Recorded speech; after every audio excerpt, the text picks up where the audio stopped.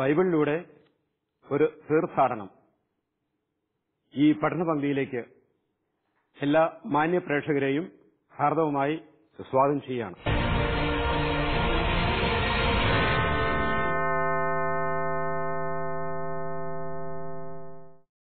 പഴയ നിയമത്തിലെ ചരിത്ര പുസ്തകങ്ങളിൽ സാമുവേലിന്റെ രണ്ടാമത്തെ പുസ്തകത്തെ പറ്റിയുള്ള പഠനമാണ് നമ്മളിപ്പോൾ നടത്തിക്കൊണ്ടിരിക്കുന്നത്. സാമുവേലിന്റെ പേരിൽ രണ്ട് പുസ്തകങ്ങളാണുള്ളത്. ഒന്നാമത്തെ പുസ്തകത്തിന്റെ പഠനം നമ്മൾ പൂർത്തിയാക്കി.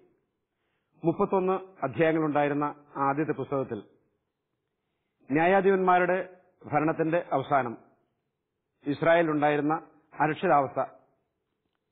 അതിനെ തരണം ചെയ്യാൻ വേണ്ടി അവർ ആവശ്യപ്പെട്ടിരുന്ന പോലെ തന്നെ ദൈവം സാവൂൾ എന്ന രാജാവിന് കൊടുത്തു. എന്നാൽ സാവൂൾ രാജാവ് ദൈവത്തിന്റെ ഹിതമനുസരിച്ച് പ്രവർത്തിക്കുക മൂലം തിരസ്കൃതനായി.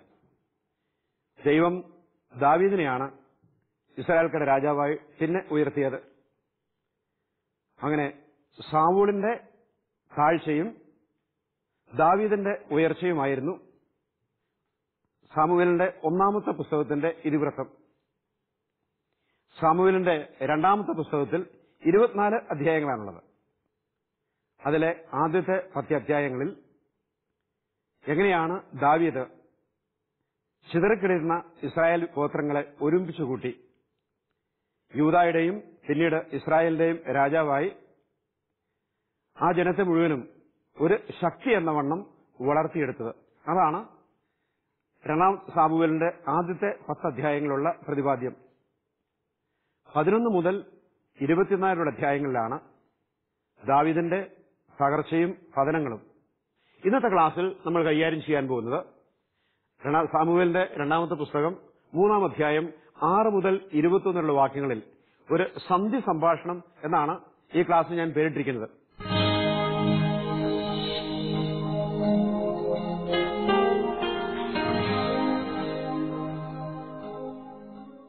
ഇതിന്റെ പശ്ചാത്തലം മനസ്സിലാക്കണമെങ്കിൽ സാവൂളിന്റെ മരണത്തിന് ശേഷം ദാവീദിനെ യൂതാ ഗോത്രക്കാര് യൂതായുടെ രാജാവായിട്ട് അംഗീകരിച്ചു.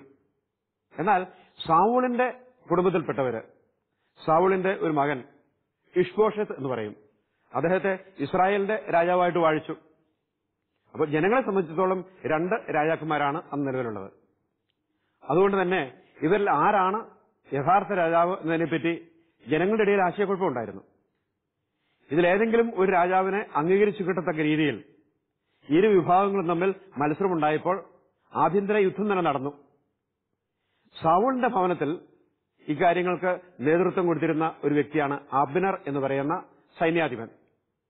ദാവീദിന്റെ ഭാഗത്തു നിന്നും ദാവീദിനെ അധികാരസ്ഥാനത്ത് ഉറപ്പിച്ചു നിർത്താൻ വേണ്ടിയിട്ട് മുൻകൈയെടുത്ത് പ്രവർത്തിച്ചിരുന്ന ഒരു വ്യക്തിയാണ് യോവാബ് എന്ന വ്യക്തി. അപ്പൊ അബ്നറും യോവാബും ഇവരാണ് പ്രധാനപ്പെട്ട കഥാപാത്രങ്ങളായി രണ്ടും മൂന്നും നാലും അധ്യായങ്ങൾ പ്രത്യക്ഷപ്പെടുന്നത്. ഇങ്ങനെ അബ- അബ്നർ ഇഷ്ബോഷത്തിന് സാവൂളിന്റെ കുടുംബത്തിലെ നേതാവിനെ അവർ അംഗീകരിച്ചപ്പോൾ യോവാബ് ദാവീദിനെ അംഗീകരിച്ചു പോവുകയാണ്. കാലാന്തരത്തിൽ ആബിനർ ഇഷ്ബോഷത്തുമായിട്ട് പിണങ്ങി. ആബിനർ ഇഷ്ബോഷത്തുമായിട്ട് പിണങ്ങി എന്ന് പറഞ്ഞാൽ സാവൂളിന്റെ ഭവനവുമായിട്ട് പിണങ്ങി ദാവീദിന്റെ കൂട്ടത്തിൽ ചേരാൻ പോവുകയാണ് എന്ന് പറഞ്ഞാൽ പക്ഷം ചേരുകയാണ്. സ്വന്തം യജമാനായിരുന്ന ഇഷ്ബോഷത്തിന്റെ പക്കൽ നിന്ന് മാറി രാജാവിന്റെ ചേരിയിലേക്ക് തിരിഞ്ഞ് ദാവിദിന്റെ ചാരി- ചേരിയിലേക്ക് തിരിഞ്ഞ് അവിടെ നടത്തുന്ന ഗൂഢാലോചനയും കാര്യങ്ങളും. ഈ കാര്യം അബിനർ ദാവിദിന്റെ അടുത്ത് വന്നത് യുവാബിന് ഇഷ്ടപ്പെട്ടില്ല. കാരണം അവർ തമ്മിലും എന്ന് ശത്രുതയായിരുന്നു. അങ്ങനെ യുവാബ് ആബിനറിനെ ചതിച്ചു കൊല്ലുന്നതും അതേപ്പറ്റിയുള്ള ദാവീദിന്റെ പ്രതികരണം. അപ്പോൾ ഇവിടെ യുവാബും ആബ്നറും തമ്മിലുള്ള ഒരു ചതിപ്രയോഗം അങ്ങനെ ആബ്നർ കൊല്ലപ്പെടുകയാണ്. അതേപ്പറ്റിയുള്ള ദാവീദിന്റെ പ്രതികരണം. ദാവീദെല്ലാം ഇങ്ങനെയുള്ള വിവരണങ്ങളെല്ലാം യഥാർത്ഥത്തിൽ ദൈവത്തിന്റെ ഹൃദയമനുസരിച്ച് പ്രവർത്തിക്കുന്ന ഒരു ന്യായാധിപനായും ഒരു ഭരണാധികാരിയുമായിട്ടാണ് ഇവിടെ പ്രത്യക്ഷപ്പെടുന്നത്. അതുകൊണ്ട് ഈ മൂന്നാമത്തെ അധ്യായത്തിൽ ആബ്നറും യുവാവും തമ്മിലുള്ള അധികാര വടംവലിയുടെ പശ്ചാത്തലത്തിൽ ഒരാൾ കൊല്ലപ്പെടുന്നു. ആ സാഹചര്യത്തിൽ ദാവീദിന്റെ പ്രതികരണം എന്താണ്? ഇതാണ് മുഖ്യമായും ഈ അധ്യായത്തിൽ നമ്മൾ കാണാൻ പോകുന്നത്. നമ്മൾ ഈ ദാവിദ് ഈ സാമുവേലിന്റെ രണ്ടാമത്തെ പുസ്തകത്തെ പറ്റി പൊതുവായിട്ട് പറഞ്ഞു. ഇരുപത്തിനാല് അധ്യായങ്ങളാണുള്ളത്. അതിൽ ആദ്യത്തെ പത്തധ്യായങ്ങളിലാണ് ദാവീദ് എങ്ങനെയാണ് പടിപടിയായി തന്റെ ശത്രുക്കളെയൊക്കെ ഒന്നൊന്നായി ഒതുക്കി അധികാരത്തിൽ വന്ന് യൂതാഗോത്രത്തെ മാത്രമല്ല ഇസ്രായേൽക്കാരെ മുഴുവനും കൂടെ ഒരുമിപ്പിച്ചു കൂട്ടുന്നത്. അപ്പൊ ഇങ്ങനെയുള്ള സംവിധാനത്തിൽ ആബ്നർ ഇഷ്ബോഷത്തിൽ നിന്നും അതായത് സാവൂളിന്റെ പക്കൽ നിന്നും ദാവിദിന്റെ പക്കലേക്ക് ചേരുകയും അതിനുശേഷമുണ്ടായ ഒരു സന്ധി സംഭാഷണം. ആബിനറും ദാവീദും തമ്മിൽ ഒരു സന്ധി സംഭാഷണം നടക്കുകയാണ്. പക്ഷെ ഈ സന്ധി സംഭാഷണത്തെ യുവാവ് അംഗീകരിക്കുന്നില്ല. അതെല്ലാം അധികാരത്തിന്റെ ത്വരയാണ് അതിന്റെയൊക്കെ പുറകിലെന്ന് മനസ്സിലാക്കാൻ സാധിക്കും. അതിന്റെ ഫലമായി എന്തുണ്ടായി? ഇവ കാര്യങ്ങളാണ് നമ്മൾ ഇന്നത്തെ ഈ അധ്യായത്തിൽ പഠിക്കുക. ആദ്യമേ തന്നെ ദാവീദും ആപ്നറും നമ്മൾ നടന്ന ആ സന്ധ്യ സംഭാഷണത്തെ പറ്റി നമുക്കൊന്ന് കേൾക്കാം. അതിന്റെ പശ്ചാത്തലം ഞാൻ പറഞ്ഞതാണ്. ഇഷ്ബോഷത്ത് എന്നുള്ള പേരുള്ള സാവൂളിന്റെ ഒരു മകനെ ആപ്നർ പിന്തുണച്ചു വന്നിരുന്നു. കുറച്ചു കഴിഞ്ഞപ്പോൾ ആപ്നർ ദാവീദാണ് അധികാരത്തിൽ കയറി വരുന്നത് എന്ന് കണ്ടപ്പോൾ കാരണം ഇഷ്ബോഷത്തിന് കൂടെ നിന്നുകൊണ്ട് ഉപകാരമില്ല എന്ന് മനസ്സിലാക്കി. അതുകൊണ്ടാണ് ഈ അവസരവാദികൾ എന്ന് പറയാൻ സാധിക്കും. സാവുൾ മരിച്ച ഉടനെ അല്ലെങ്കിൽ കൊല്ലപ്പെട്ട ഉടനെ തന്നെ ആപ്നർ സാവൂളിന്റെ ഒരു മകന്റെ കൂട്ടത്തിൽ കൂടി. കാരണം അയാളായിരിക്കും രാജാവ് എന്ന ചിന്തയാണ് പോകുന്നത്. കാലാന്തരത്തിൽ ദാവീദിനെ യൂതാഗോത്രക്കാര് രാജാവായി തെരഞ്ഞെടുത്ത വഴിയായി ഒരു തക്കം നോക്കി നിൽക്കുകയായിരുന്നു. ഇഷ്ബോഷത്തിൽ നിന്നും മാറി ദാവീദിന്റെ പക്കലേക്ക് ചേരാൻ വേണ്ടി. അതുകൊണ്ടാണ് ഈ അധികാര മോഹികളും വേണമെങ്കിൽ പറയാൻ സാധിക്കും മറുകണ്ഠം ചാടുന്നവരും. അങ്ങനെയുള്ളവർ എങ്ങനെയാണ് പ്രവർത്തിക്കുന്നത്? അവർക്ക് അവസാനം എന്ത് സംഭവിക്കുന്നു? അങ്ങനെ ഒരു പാഠം കൂടി ഈ അധ്യായത്തിന്റെ പുറകിലുണ്ട്. നമുക്ക് ഏറ്റവും ആദ്യം ആപ്നർ എങ്ങനെയാണ് ഇഷ്ബോഷത്തിൽ നിന്നും മാറി ദാവിദിന്റെ പക്കലേക്ക് ചേർന്ന് നോക്കാം. അതിന്റെ സാഹചര്യം കാരണം ആപ്നർ എന്ന എന്ന വ്യക്തി അധികാരമോഹിയായിരുന്നു. തന്നെയുമല്ല സാഹചര്യങ്ങൾ മനസ്സിലാക്കി. നമ്മൾ സാധാരണ പറയാറുണ്ട് പൊങ്ങുന്ന വെള്ളത്തിന്റെ മുകളിൽ നിൽക്കുന്ന. അപ്പൊ അന്നത്തെ സാഹചര്യത്തിൽ ആരുടെ കൂട്ടത്തിൽ കൂടിയാലാണ് അധികാരവും ശക്തിയും മറ്റ് സ്വാധീനവും എല്ലാം ലഭിക്കുക എന്ന് മനസ്സിലാക്കിക്കൊണ്ട് അദ്ദേഹം മറുകണ്ഠം ചാടുകയാണ്. അതാണ് നമ്മൾ കാണാൻ പോകുന്ന കാര്യം. നമുക്ക് മൂന്നാമത്തെ അധ്യായത്തിൽ ആറ് മുതലുള്ള വാക്യങ്ങൾ നോക്കാം. കാരണം ആബ്നർ എങ്ങനെയാണ് ദാവീദിന്റെ പക്കലേക്ക് ചായുന്നതും ഇഷ്ബോഷത്തിനെ ഉപേക്ഷിക്കുന്നതും. ചരിത്രപരമായതുകൊണ്ട് അതിന്റെ അടിയൊഴുക്കളൊന്നും ശരിക്കും മനസ്സിലാക്കേണ്ടതുണ്ട്. എങ്കിൽ മാത്രമേ അതിന്റെ യഥാർത്ഥത്തിലുള്ള സംഗതികൾ മനസ്സിലാകുകയുള്ളൂ. അപ്പോൾ ആബ്നർ എന്ന് പറഞ്ഞ സാവൂളിന്റെ പക്ഷത്തിലുണ്ടായിരുന്ന ആ സൈന്യാധിപൻ ഇഷ്ബോഷത്തിനെ ഉപേക്ഷിച്ച് ദാവീദിന്റെ കൂട്ടത്തിലേക്ക് ചെല്ലുന്നതാണ്. അതിന് അദ്ദേഹം ഒരു കാരണവും കണ്ടുപിടിക്കുന്നുണ്ട്. അത് നോക്കാം. സാവൂളിന്റെ കുടുംബവും ദാവീദിന്റെ കുടുംബവും തമ്മിൽ യുദ്ധം നടന്നുകൊണ്ടിരിക്കെ. അബ്നേർ സാവൂളിന്റെ കുടുംബത്തിൽ പ്രാബല്യം നേടിക്കൊണ്ടിരുന്നു. അപ്പോൾ ആ ഒരു പദപ്രയോഗം തന്നെ അർത്ഥവത്താണ്. സാവൂളിന്റെ ഭവനവും ദാവീദിന്റെ ഭവനവും തമ്മിൽ യുദ്ധം നടന്നുകൊണ്ടിരിക്കെ ആബ്നർ എന്ന മനുഷ്യൻ. അദ്ദേഹം ഒരു സൈന്യാധിപൻ മാത്രമാണ്. അദ്ദേഹം സാവൂളിന്റെ ഭവനത്തിൽ പ്രാബല്യം നേടിക്കൊണ്ടിരിക്കുകയാണ് അത് സ്വാധീനം നേടിക്കൊണ്ടിരിക്കുകയാണ് സാവൂളിന് ഒരു ഉപനാരിയുണ്ടായിരുന്നു. അവൾ അയ്യായിയുടെ മകൾ റിസ്പ ആയിരുന്നു. ഇഷ്ബോഷത്ത് അപ്നേറിനോട് ചോദിച്ചു നീ എന്റെ പിതാവിന്റെ ഉപനാരിയുമായി ശയിച്ചതെന്തിന്? അപ്പൊ ഇതൊരു പശ്ചാത്തലം മനസ്സിലാക്കണം. അന്നത്തെ കാലത്ത് രാജാക്കന്മാർക്ക് ഒന്നിൽ കൂടുതൽ ഭാര്യമാരുണ്ടായിരുന്നു. ഒരു ഭാര്യയും പിന്നെ ഉപനാരിമാരുമെല്ലാം. ഒരു രാജാവ് കൊല്ലപ്പെടുകയോ അതുമല്ലെങ്കിൽ തോൽപ്പിക്കപ്പെടുകയോ ചെയ്താൽ ആ രാജാവിനെ തോൽപ്പിച്ച രാജാവിന് തോൽപ്പിക്കപ്പെട്ട രാജാവിന്റെ ഭാര്യയെയും ഉപനാരിമാരെയൊക്കെ സ്വീകരിക്കാം. കാരണം അത് കൊള്ള മുതൽ എന്ന രീതിയിൽ കണക്കാക്കിക്കൊണ്ടിരുന്നത്. അതുകൊണ്ട് സാവൂളിന്റെ ഉപനാരി ഈ ഉപനാരിയെ അബ്നേർ പ്രാപിച്ചു എന്ന് പറഞ്ഞാൽ പിന്നീട് അധികാരത്തിൽ വരുന്നത് അബ്നേറാണെന്ന് സൂചിപ്പിക്കുകയാണ്. ഇഷ്ബോഷത്ത് രാജാവായി തീർന്നെങ്കിലും അബ്നേർ ഇഷ്ബോഷത്തിനെ മറികടന്ന് സാവൂളിന്റെ ഒരു ഉപനാരിയെ പ്രാപിച്ചു. ഈ കാര്യത്തെപ്പറ്റി രാജാവായിരുന്ന ഇഷ്ബോഷത്തെ ചോദ്യം ചെയ്യുകയാണ്. അപ്പോൾ അബ്നേർ ക്രൂദ്ധനായി പറഞ്ഞു ഞാൻ യൂതാപക്ഷത്തെ ഒരു നായയാണെന്ന് നീ കരുതുന്നുവോ? എന്ത് പദപ്രയോഗങ്ങളെന്ന് ഓർമ്മിക്കണം. ഒരു സൈന്യാധിപൻ ഇപ്പൊ ഒരു പോലീസ് ഉദ്യോഗസ്ഥൻ മന്ത്രിയോട് ചോദിക്കുന്ന പോലെയാണ്. ക്രൂദ്ധനായിട്ട് ചോദിക്കുകയാണ് ഞാൻ യൂതാപക്ഷത്തെ ഒരു നായാണെന്നാണ് നീ കരുതുന്നത്. നിന്റെ പിതാവായ സാവൂളിന്റെ ഭവനത്തോടും സഹോദരന്മാരോടും സ്നേഹിതന്മാരോടും ഇന്നോളം ഞാൻ വിശ്വസ്ത പുലർത്തി ദാവീദിന്റെ പിടിയിൽപ്പെടാതെ ഞാൻ നിന്നെ രക്ഷിച്ചു. എന്നിട്ടും സ്ത്രീ സംബന്ധമായ കുറ്റം എന്നിൽ ആരോപിക്കുന്നുവോ? അപ്പോ ഈ സ്ത്രീ സംബന്ധമായ കാര്യങ്ങളൊക്കെ പറഞ്ഞ് മനുഷ്യനെ തളർത്താൻ ശ്രമിക്കുക. അല്ലെങ്കിൽ അതുപോലുള്ള സംഭവങ്ങളൊക്കെ നടക്കുക ഇതൊക്കെ എല്ലാ കാലത്തും ഉണ്ടായിരുന്നതാണ്. അതാണ് ഇവിടെയും ഇഷ്ബോഷത്ത് അബ്നേറിനോട് ചോദിച്ചു എന്റെ പിതാവിന്റെ ഉപനാരിയെ നീ എന്തുകൊണ്ട് പ്രാപിച്ചു?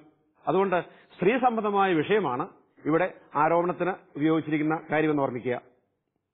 സാവൂളിന്റെ ഭവനത്തിൽ നിന്ന് രാജ്യമെടുത്ത് ദാൻ മുതൽ ബർഷവ വരെ ഇസ്രായേലിലും യൂതായിലും ദാവീദിന്റെ സിംഹാസനം സ്ഥാപിക്കുമെന്ന് കർത്താവ് ദാവീദിനോട് സത്യം ചെയ്തിട്ടുള്ളത് ഞാൻ ദാവീദിന് നിറവേറ്റിക്കൊടുത്തായിരുന്നാൽ ദൈവം ഈ അബ്നേറിനെ കഠിനമായി ശിക്ഷിച്ചു കൊല്ലട്ടെ. അബ്നേറിനെ അത്യധികം ഭയപ്പെട്ടതുകൊണ്ട് ഇഷ്ഘോഷത്തിന് ഒരു വാക്ക് പോലും മറുപടി പറയാൻ കഴിഞ്ഞില്ല. നമുക്കിവിടെ അബ്നർ എന്ന് പറയുന്ന ആ വ്യക്തിയുടെ സ്വഭാവത്തിലേക്ക് നോക്കാം. ഇവിടെ ആദ്യമേ തന്നെ ഇഷ്ഘോഷത്തും അബ്നേറും അകലുന്നു. അതിന് കാരണമായിട്ട് പറയാവുന്നത് അബ്നേർ മനസ്സിലാക്കി ഇനിയിപ്പോൾ അധികാരം അന്തിമമായിട്ട് എത്തിച്ചേരാൻ പോകുന്നത് ദാവിദിന്റെ പക്കലാണ്. ഇഷ്ബോഷത്തിനെ താങ്ങിക്കൊണ്ട് നിൽക്കൊണ്ട് കാര്യമില്ല. അതുകൊണ്ട് എവിടെ അധികാരവും സ്വാധീനവും ഉണ്ടോ അങ്ങോട്ടേക്ക് മറുകണ്ഠം ചാടുക. ഇതാണ് അഭിനർ ചെയ്തത്. ഇവിടെ കുറ്റം ആരോപിക്കൽ. അത് സാറിന് നടന്നതാണോ എന്ന് നമുക്കറിയാൻ വയ്യ. പക്ഷേ ഏതായാലും രാജാവ് എന്ന രീതിയിൽ ഇഷ്ബോഷത്ത് അബ്നരോട് ചോദിക്കുകയാണ്. എന്തുകൊണ്ട്? എന്റെ പിതാവിന്റെ ഉപനാരിയെ നീ പ്രാപിച്ചു. അപ്പോൾ അങ്ങനെയാ ചോദിച്ച ചോദ്യം. ഇഷ്ബോഷത്തിൽ നിന്നും അകലാനായിട്ട് ഒരു അവസരമായി കണ്ടുകൊണ്ട് ഇഷ്ബോഷത്തിനെ ഉപേക്ഷിച്ച് ദാവീദിന്റെ പക്കലേക്ക് പോകാൻ വേണ്ടി അബ്നേർ ആ അവസരം ഉപയോഗിക്കുകയാണ്. ഇവിടെ അതിന് അദ്ദേഹം ദൈവശാസ്ത്രപരമായ ഒരു കാരണം കൂടെ കൊണ്ടുവരുന്നുണ്ട്. അബ്നേർ ഇഷ്ബോഷത്തിന് പറയുന്നത് ദൈവം ദാവീദിനോട് ചെയ്ത ഒരു വാഗ്ദാനമാണ്. അതുകൊണ്ട് നീയല്ല രാജാവ്. ദാവീദായിരിക്കും രാജാവ്. അക്കാര്യം എനിക്കറിയാം. അതുകൊണ്ട് ദൈവം ചെയ്ത ഈ വാഗ്ദാനം പൂർത്തീകരിക്കാൻ ഞാൻ ദാവീദിനെ സഹായിക്കാൻ പോവുകയാണ്. അപ്പൊ യഥാർത്ഥത്തിൽ ഇദ്ദേഹത്തിന്റെ ലക്ഷ്യം എന്തായിരുന്നുവെന്ന് പിന്നീടുള്ള ആ പരാമർശങ്ങൾ നമുക്ക് മനസ്സിലാക്കാൻ സാധിക്കും. ഇവിടെ ദൈവശാസ്ത്രപരമായ കാര്യങ്ങളെല്ലാം കൊണ്ടുപോകുന്നത് പലപ്പോഴും സ്വന്തം താല്പര്യവും സ്വന്തം ലക്ഷ്യവും മറച്ചുവെക്കുന്നതിനുള്ള ഒരു മറയായിട്ടാണ് ദൈവം ദാവീദിനോട് അങ്ങനെ വാഗ്ദാനം ചെയ്തിട്ടുള്ളത് എന്നൊക്കെ പറയുക. അപ്പോൾ അങ്ങനെയുള്ള ഒരു കാപട്യം കൊണ്ടാണ് ആ കാപട്യത്തിന്റെ ഭാഷയാണ് യഥാർത്ഥത്തിൽ അബ്നേർ ഇവിടെ ഉപയോഗിക്കുക. ഇഷ്ബോഷത്തിനെ സംബന്ധിച്ചിടത്തോളം നമുക്ക് മനസ്സിലാക്കാൻ സാധിക്കുന്നത് അദ്ദേഹം സാവൂലിന്റെ ഒരു മകനെങ്കിലും രാജകുമാരനാണ്. ഇങ്ങനെയുള്ള ഭീഷണിപ്പെടുത്തുന്ന നേതാക്കന്മാരുടെ മുമ്പിൽ നിസ്സഹായനായിട്ട് നിൽക്കുന്ന ഒരു വ്യക്തിയായിട്ടാണ് ഇഷ്ബോഷത്തിനെ വിശുദ്ധ ഗ്രന്ഥം അവതരിപ്പിക്കുക. അതുകൊണ്ട് ദൈവത്തിന്റെ വാഗ്ദാനം നിറവേറ്റാൻ ഞാൻ സഹായിക്കണം. അപ്പൊ അബ്നേർ പറയുന്നതാണ് അതുകൊണ്ട് ഞാൻ നിന്നെ ഉപേക്ഷിക്കാൻ പോവുകയാണ്. ദൈവം ദാവീദിനോട് വാഗ്ദാനം കൂടി ചെയ്തു കൊടുത്തിട്ടുണ്ട്. അതുകൊണ്ട് ഞാൻ ദാവീദിനെ സഹായിക്കാൻ പോവുകയാണ്. പക്ഷേ അദ്ദേഹത്തിന്റെ ഉദ്ദേശശുദ്ധി അത്ര കൃത്യമായിട്ടുള്ളതായിരുന്നില്ല എങ്ങനെയെങ്കിലും ദാവീദിന്റെ പക്ഷം ചേർന്ന് അധികാരസ്ഥാനം ഉറപ്പിക്കുക. യുവാവിനെ പുറന്തള്ളുകയും ചെയ്യണം. കാരണം യുവാവാണ് അതുവരെയും ദാവീദിന്റെ കൂട്ടത്തിൽ ജോലി ചെയ്തുകൊണ്ടിരുന്നത്. അപ്പൊ യുവാവിനെ മാറ്റി യുവാവിന്റെ സ്ഥാനത്ത് അദ്ദേഹത്തിന് സർവസൈന്യാധിപനായി തീർന്ന് ദാവീദിന്റെ കൂട്ടത്തിൽ കൂടിയാൽ ഇഷ്ബോഷത്തിനെ തകർത്തതുപോലെ ഒരിക്കൽ ദാവീദിനെയും തകർക്കാൻ സാധിക്കും എന്നുള്ള കണക്കൂട്ടലോടെയാണ് അബ്നർ അവിടെ ചേരുക. അപ്പൊ അതാണ് അദ്ദേഹം ഉപയോഗിച്ച മാർഗം. ദാവീദിന്റെ അടുത്ത് അദ്ദേഹം ചെന്ന് ഒരു സന്ധ്യ സംഭാഷണത്തിൽ പോവുകയാണ്. അതാണ് നമ്മൾ ഇനി കാണുന്നത്. ഹെബ്രോണിൽ ദാവീദിന്റെ അടുക്കിലേക്ക് ദൂതന്മാരെ അയച്ച് അബ്നർ അറിയിച്ചു ദേശം ആർക്കുള്ളത്? എന്നോട് ഉടമ്പടി ചെയ്യുക. ഇസ്രായേൽ മുഴുവനെയും നിന്റെ പക്ഷത്ത് കൊണ്ടുവരുന്നതിന് ഞാൻ സഹായിക്കാം. അപ്പൊ സത്യത്തിൽ ഇഷ്ബോഷത്തിനോട് പറഞ്ഞു ദാവീദ് ദാവീദിനോട് കർത്താവ് ഉടമ്പടി ചെയ്തിട്ടുണ്ട് ഈ രാജ്യം കൊടുക്കും. അത് ഇഷ്ബോഷത്തിനോട് പറഞ്ഞിട്ടുള്ളതാണ്. ഇതേ ആപ്നർ ദാവീദിന്റെ അടുത്ത് എന്ന് ചോദിക്കുകയാണ് ഞാനൊരു കാര്യം ചെയ്യാം. ഈ ഇസ്രായേൽ ജനത്തെ മുഴുവനും നിന്റെ കൂട്ടത്തിൽ തന്നു തരാം. അങ്ങനെയാണ് നിനക്ക് എല്ലാ കൂട്ടരുടെ മേലും രാജാവാൻ സാധിക്കും. ദൈവം ഇങ്ങനെ വാഗ്ദാനം ചെയ്തിട്ടുണ്ടെങ്കിൽ ഞാൻ നിന്നെ സഹായിച്ചില്ലെങ്കിലും അത് നടക്കും. പക്ഷെ ഇവിടെ ആപ്നർ ദാവീദിനോട് പറയുന്നത് ഒരു ചോദ്യം കൂടെയാണ് ഈ രാജ്യം ആർക്കുള്ളതാ? നമുക്കൊരു കാര്യം ചെയ്യാം. എന്നെ ഞാൻ നിന്റെ കൂട്ടത്തിൽ സ്വീകരിക്കുകയാണെങ്കിൽ അതിനുവേണ്ട ഉത്താശ ഞാൻ ചെയ്തു തരാം. അതുകൊണ്ട് ഇഷ്ബോഷത്തിനോട് പറഞ്ഞ ദൈവശാസ്ത്രപരമായ ഒരു കാരണവും ഇവിടെയില്ല. വെറും ഒരു പൊളിറ്റിക്കൽ നാടകം എന്ന രീതിയിൽ ദാവിദിന്റെ അടുത്ത് നിന്ന് പറയുകയാണ് ഞാൻ നിന്നെ സഹായിക്കാം. ദാവിദ് മറുപടി പറഞ്ഞു കൊള്ളാം. ഞാൻ ഉടമ്പടി ചെയ്യാം പക്ഷെ ഒരു വ്യവസ്ഥ. എന്നെ കാണാൻ വരുമ്പോൾ സാവൂളിന്റെ മകൾ മിലാഖ് മിഖാലിനെ ആദ്യം തന്നെ കൂട്ടിക്കൊണ്ടുവരണം. അതിന് പശ്ചാത്തലമുണ്ട്. സാവൂളിന്റെ മകൻ മിഖാൽ അത് അവളെ ദാവീദിന് വിവാഹം ചെയ്തു കൊടുക്കാമെന്ന് വാക്കു പറഞ്ഞുകൊണ്ടാണ് വിവാഹ സമ്മാനമായി നൂറ് ഫിലിസ്തീനയുടെ അഗ്രചർമ്മമാണ് അന്ന് സാവൂൾ ആവശ്യപ്പെട്ടത്. അങ്ങനെ നൂറ് ഫിലിസ്റ്ററുടെ അഗ്രചർമ്മം കൊടുത്തു. മിഖാലിനെ ദാവീദിന് കുറച്ചു നാളത്തേക്ക് ഭാര്യയായി കൊടുത്തെങ്കിലും സാവൂൾ ചെയ്തത് മിഖാലിനെ ദാവീദിന്റെ ഭാര്യാസ്ഥാനത്ത് നിന്ന് മാറ്റി ഈ മിഖാലിന് വേറൊരാൾക്ക് ഏൽപ്പിച്ചു കൊടുക്കുകയത് അപ്പോൾ സാവൂളിനെ സംബന്ധിച്ചിടത്തോളം വാക്ക് പാലിച്ചില്ല എന്ന് മാത്രമല്ല മരുമകനായിട്ട് വന്ന ദാവീദിനെ ആക്ഷേപിക്കുക കൂടി ചെയ്യുകയാണ് ചെയ്തത്. അതുകൊണ്ടാണ് ദാവീദ് പറഞ്ഞു ഞാൻ നീയുമായിട്ട് ഉടമ്പടി ചെയ്യാം. നിനക്കിപ്പോൾ സാവൂളിന്റെ കുടുംബത്തിൽ സ്വാധീനമുണ്ട്. അങ്ങനെയാണെങ്കിൽ എന്റെ ഭാര്യയായിരുന്ന മിഖായലിനെ തിരിച്ചു കൊണ്ടുവരണം. അക്കാര്യത്തിലും ഇവിടെ സഹായം അദ്ദേഹം ചെയ്യുകയാണ്. അനന്തരം ദാവീദ് സാവൂളിന്റെ മകൻ ഇഷ്ബോഷത്തിനോട് ദൂതന്മാരെ അയച്ചു പറഞ്ഞു എന്റെ ഭാര്യ മിഖാലിനെ തിരിച്ചു തരിക നൂറ് ഫിലിസ്തയുടെ അഗ്രതമം കൊടുത്താണ് ഞാൻ അവളെ പരിഗ്രഹിച്ചത്. ഇഷ്ബോഷത്ത് ആളയച്ച് ലായിഷിന്റെ മകനും മിഖാലിന്റെ ഭർത്താവുമായ ഫൽത്തിയേലിന്റെ അടുക്കൽ നിന്ന് അവളെ മടക്കി വരുത്തി. അവളുടെ ഭർത്താവ് കരഞ്ഞുകൊണ്ട് ബഹൂരിം വരെ പിന്നാലെ ചെന്നു. അബനേർ അവനോട് മടങ്ങിപ്പോകുമെന്ന് പറഞ്ഞു. അവൻ മടങ്ങിപ്പോയി. തികച്ചും നിസ്സഹായമായ ഒരു അവസ്ഥയാണ് ഭാര്യയെ രാജാവ് ആളയച്ച് വരുത്തി കൊണ്ടുപോവുകയാണ്. സാധാരണക്കാരനായ ആ മനുഷ്യൻ അദ്ദേഹത്തെ പറഞ്ഞിരിക്കുന്നതാണ് നിഖാലിന്റെ ഭർത്താവായ ഫൽത്തിയൽ കരഞ്ഞുകൊണ്ട് പറഞ്ഞു എന്റെ ഭാര്യയെ കൊണ്ടുപോകരുത്. അവിടെയും കയ്യൂക്കുള്ളവൻ കാര്യക്കാരൻ എന്ന രീതിയിൽ പ്രവർത്തിക്കുകയാണ്. അപ്പോൾ ഇങ്ങനെയുള്ള പ്രവർത്തനമൊന്നും ദൈവത്തിന് സ്വീകാര്യമല്ല എന്നുള്ള കാര്യം പിന്നീട് തെളിയിക്കാൻ പോവുകയാണ്. ഒരുപക്ഷെ പാവപ്പെട്ട നിസ്സഹായനായ ഫൽസിയയിൽ നിന്നും അദ്ദേഹത്തിന്റെ ഭാര്യയെ ബലം പ്രയോഗിച്ച് കൊണ്ടുപോയി ദാവീദിന് കൊടുക്കുന്നെങ്കിലും ദൈവത്തിന്റെ നീതി സാവകാശം നടത്തപ്പെടാൻ പോവുകയാണ്. ഇതിന്റെ പുറകിൽ പ്രവർത്തിച്ചത് അബ്നേറാണെന്ന് ഓർമ്മിക്കണം. അബ്നേർ ഇസ്രായേൽ ശ്രേഷ്ഠന്മാരോട് സംസാരിച്ചു. കാരണം ഇഷ്ബോഷത്തിന്റെ പക്കൽ നിന്നും ദാവീദുമായിട്ട് ഉടമ്പടി ചെയ്തു. ആ ഉടമ്പടിയുടെ ഒരു വ്യവസ്ഥയായിരുന്നു മിഖായലിനെ കൊണ്ടുപോയി കൊടുക്കുക. അപ്പൊ മിഖായലിന് സ്വന്തമായി കൊടുത്തതിന് ശേഷം വീണ്ടും അബ്നേർ ഇസ്രായേലിലെ ശ്രേഷ്ഠന്മാരോട് സംസാരിക്കുകയാണ്. കാരണം അവരുടെയും കൂടെ പിന്തുണയുണ്ടെങ്കിൽ ഇസ്രായേൽക്കാരെ ദാവിദിന്റെ കൂട്ടത്തിൽ കൂടാൻ സാധിക്കുകയുള്ളൂ. യൂതാവംശ യൂതാ യൂതാ ഗോത്രത്തിൽപ്പെട്ടവര് ദാവിദിന്റെ കൂട്ടത്തിൽ ചേർന്നു. ഇനി ഇസ്രായേൽക്കാരെ കൂടെ കിട്ടണമെങ്കിൽ ഇസ്രായേലിലെ ശ്രേഷ്ഠന്മാർ സമ്മതിക്കണം. അതുകൊണ്ടാണ് അദ്ദേഹം പറഞ്ഞതാണ് ദാവീദിനെ രാജാവായി കിട്ടാൻ നിങ്ങൾ ആഗ്രഹിച്ചിരുന്നല്ലോ. ഉറപ്പില്ല. കാരണം ദാവീദിനെ രാജാവായി കിട്ടണമെന്ന് ഇസ്രായേൽ ശ്രേഷ്ഠന്മാർ ഒരിക്കൽ പോലും ഒരു ആഗ്രഹം പ്രകടിപ്പിച്ചതായി നമുക്കിവിടെ സൂചനകളൊന്നുമില്ല.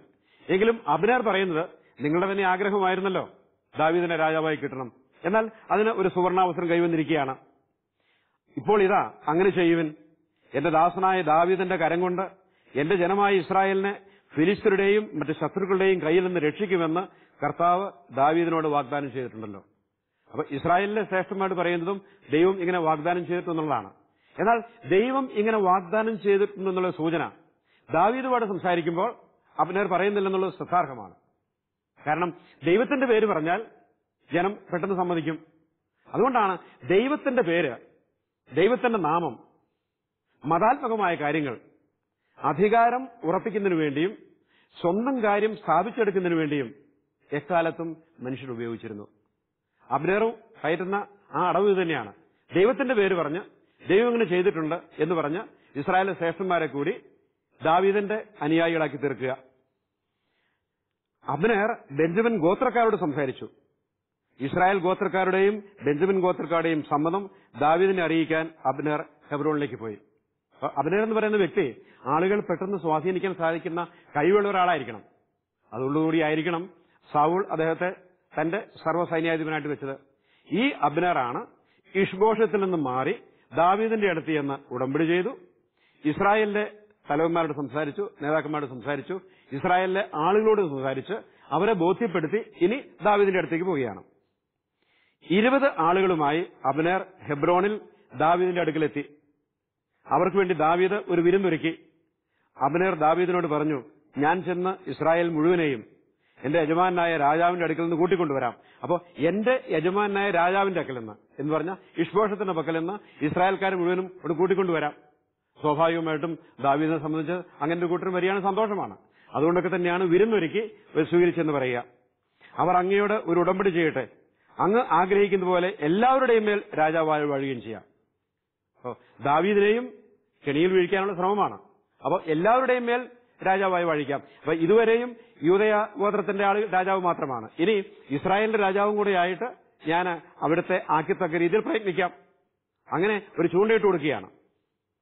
ദാവീദ് അബനേറിനെ പറഞ്ഞയച്ചു. അവൻ സമാധാനത്തോടെ പോയി. അപ്പൊ ഇത്രയും കാര്യങ്ങളാണ്. അപ്പൊ ചുരുക്കത്തിൽ അബ്നേർ എന്ന് പറയുന്ന സാവൂളിന്റെ കുടുംബത്തിൽപ്പെട്ട ഇഷ്ബോഷത്തിന്റെ സർവസൈന്യാധിപനായിരുന്ന വ്യക്തി ഇദ്ദേഹത്തെ രാജാവ് ഒരു കാര്യത്തെപ്പറ്റി ചോദ്യം ചെയ്തതിന്റെ പേരിൽ തന്നെയുമല്ല സമയം നോക്കി മറുകണ്ഠത്തേക്ക് ചാടാനിരുന്ന ഒരു സാഹചര്യത്തിൽ ഇഷ്ബോഷത്തിനെ ഉപേക്ഷിച്ച് ദൈവശാസ്ത്രപരമായ കാര്യങ്ങളെല്ലാം പറഞ്ഞ് ഇവിടെ ദാവീദിന്റെ കൂട്ടത്തിൽ ചേർന്ന അബ്നേർ. അതിനുവേണ്ട കളമൊരുക്കി കരുക്കൾ നീക്കി ഇസ്രായേലിലെ ശ്രേഷ്ഠന്മാരെയും ഇസ്രായേലിലെ ജനങ്ങളെയും അതിന് തയ്യാറാക്കി ദാവീദുമായിട്ട് ഒരു ഉടമ്പടി ചെയ്യുകയാണ്. ഇതാണ് ഇതിന്റെ പശ്ചാത്തലം. പക്ഷേ ദാവീദ് ഇത് മനസ്സിലാക്കുന്നില്ല. ചിലപ്പോഴൊക്കെ അധികാരം കൂടുതൽ കിട്ടാൻ പോകുന്നു എന്നുള്ള കാര്യം വരുമ്പോൾ പലപ്പോഴും അതിന്റെ പുറകിലുള്ള ആ കെണികൾ മനസ്സിലാക്കാതെ പ്രവർത്തനം ദാവീദിന്റെ ഭാഗത്ത് വന്നൊരു പെശകാണത്. ഈ കാര്യം യോവാബ് ചൂണ്ടിക്കാണിക്കുകയാണ്. കാരണം യോവാബ് ആരംഭം മുതൽ ദാവീദിന്റെ സർവസൈന്യാധിപനായിരുന്നു. തന്നെയുമല്ല യുവാബിന് അബ്നേറിനോട് താല്പര്യമില്ല. കാരണം അബ്നേർ യുവാബിന്റെ സഹോദരനെ ഒരിക്കൽ കൊല്ലുകയുണ്ടായി. ആ പക മനസ്സിലുണ്ട്. അപ്പോൾ ഈ പക മനസ്സിലുള്ളതുകൊണ്ട് യോവാബ് എങ്ങനെയാണ് അബ്നേറിനെ കൊല്ലുന്നത് വധിക്കുന്നത് ആ ഭാഗം മണ്ണിൽ കാണാൻ പോകും അപ്പൊ നമ്മൾ ഇസ്രായേലിന്റെ ചരിത്രത്തിൽ ഇതുപോലെയുള്ള അധികാര വടംവലികൾ ഈ അധികാരത്തിനു വേണ്ടി അധികാരം ഉറപ്പിച്ചു തരുന്നതിന് വേണ്ടി എന്തും ചെയ്യുന്ന ഒരു പ്രവണത. അങ്ങനെ ഒരു സംഭവമാണ് ഇനി യോവാബും അബ്നറും തമ്മിലുള്ള ബന്ധത്തിൽ നമ്മൾ കാണാൻ പോകുന്നത്. അത് മൂന്നാമത്തെ അധ്യായത്തിൽ ഇരുപത്തിരണ്ടാമത്തെ വാക്യം മുതലുണ്ട്. കാരണം ഈ ദാവിദിന്റെയൊക്കെ ചരിത്രത്തിൽ ഇതുപോലുള്ള സൂക്ഷ്മങ്ങളായ സംഭവങ്ങൾ നടന്നത്. അത് മനസ്സിലാക്കുമ്പോഴാണ് മനുഷ്യൻ എങ്ങനെയൊക്കെയാണ് പെരുമാറുന്നത്. അപ്പൊ മനുഷ്യന്റെ സ്വാർത്ഥത അധികാര ദുർമോഹം സ്വാർത്ഥത ഇതൊക്കെ എങ്ങനെയാണ് പ്രയോഗത്തിൽ വരുത്തി മറ്റു മനുഷ്യരുടെ ജീവനെ പോലും എടുക്കത്തക്ക രീതിയിൽ മനുഷ്യർ പരസ്പരം ശത്രുക്കളെ പോലെ പെരുമാറുന്നത്. ഇതൊന്നും ദൈവത്തിന് സ്വീകാര്യമായ കാര്യങ്ങളല്ല. ഈ സംഭവങ്ങളെ പറ്റിയൊക്കെ അവസാനമായിട്ട് വരുമ്പോഴേക്കും ദൈവം ഇതെല്ലാം എണ്ണി എണ്ണി ചോദിക്കണമെന്ന് ഓർമ്മിക്കണം. ദൈവം ഇങ്ങനെയുള്ള കാര്യങ്ങളെല്ലാം ദൈവം കാണുന്നുണ്ട്. അപ്പൊ ഈ അധികാരം ഉറപ്പിക്കാൻ വേണ്ടി അന്നും ഇന്നും മനുഷ്യർ ചെയ്യുന്ന തിന്മകളെല്ലാം ദൈവം കാണുന്നുണ്ട്. അതുകൊണ്ട് തന്നെ ചരിത്രത്തിൽ ദൈവത്തിന്റെ ഇടപെടലുകൾ ഉണ്ടാകുന്നതിന് ചെയ്യും സംഭവമായിട്ട് നമ്മൾ ചോദിക്കും എന്തുകൊണ്ട് ദൈവം അപ്പോൾ ഇടപെടുന്നില്ല? അവിടമാണ് യാക്കോസ്ലിഹായുടെ ഒരു വാചകം നമ്മൾ ഓർമ്മിക്കേണ്ടത്. ദൈവത്തിന്റെ ക്ഷമ അവിടുത്തെ ബലഹീനതയായി നമ്മൾ കണക്കാക്കരുത്. ദൈവത്തിന്റെ ക്ഷമ നമ്മുടെ രക്ഷയ്ക്ക് വേണ്ടി അവിടുന്ന് പ്രദർശിപ്പിക്കുന്നതാണ് എന്ന് ഓർമ്മിക്കണം. ബലഹീനായ മനുഷ്യൻ ഇങ്ങനെയുള്ള സ്വാർത്ഥം മൂലം തെറ്റുകളൊക്കെ ചെയ്യുന്നെങ്കിലും ദൈവം ഉടനെ അവനെ ശിക്ഷിക്കാതിരിക്കുന്നെങ്കിൽ അതാണ് ദൈവത്തിന്റെ ക്ഷമ എന്ന് പറയുന്നത് നമ്മുടെ രക്ഷയ്ക്ക് വേണ്ടി അവിടുന്ന് ചെയ്യുന്നതാണ്. അപ്പൊ യാക്കോസ്ലി അമ്മ ഓർമ്മിപ്പിക്കുന്ന ഈ കാര്യം ഇതുപോലുള്ള കാര്യങ്ങളൊക്കെ സംഭവിക്കുമ്പോൾ എന്തുകൊണ്ട് ദൈവം ഉടനെ ഇടപെട്ട് തക്കതായ ശിക്ഷ കൊടുക്കുന്നില്ല എന്നൊക്കെ നമ്മൾ ചോദിക്കുമ്പോൾ അതിനുള്ള ഒരു ഉത്തരം കൂടി ഇവിടെ കാണാൻ സാധിക്കും. ഇനി എങ്ങനെയാണ് യോവാബ് അബ്നേറിനോട് പ്രതികാരം ചെയ്യുന്ന ഓർമ്മിക്കാം. ഇരുപത്തിരണ്ടാമത്തെ വാക്യം മുതൽ. അപ്പോൾ തന്നെ ദാവീദിന്റെ ദാസന്മാർ യുവാവിനോടൊപ്പം ഒരു കവർച്ച കഴിഞ്ഞ് കൊള്ളവസ്തുക്കളുമായി മടങ്ങിയെത്തി. ഒരു സൂചനയുണ്ട്.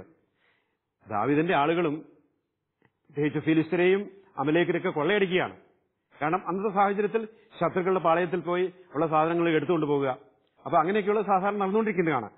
അപ്പോൾ അബ്നർ ഹെബ്രോണിൽ ദാവീദിനോട് ഉണ്ടായിരുന്നില്ല. എന്നാൽ ദാവീദ് അവനെ മടക്കി അയക്കുകയും അവന് സമാധാനത്തോടെ പോവുകയും ചെയ്തിരുന്നു. നേരണ്ട മകൻ അബ്നർ രാജാവിന്റെ അടുക്കൽ വന്നു. രാജാവ് അവനെ സമാധാനത്തോടെ മടക്കി അയച്ചു എന്ന് സൈന്യ സൈന്യസമേതം മടങ്ങി വന്ന യോവാബ് അറിഞ്ഞു. യോവാബ് രാജാവിനോട് ചോദിച്ചു അങ്ങ് ഈ ചെയ്തത് എന്ത്?